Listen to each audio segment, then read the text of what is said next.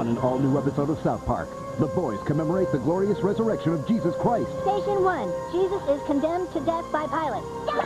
Ow! Can Cartman endure the role of our father? Find out on an all-new episode of South Park, Wednesday at 10.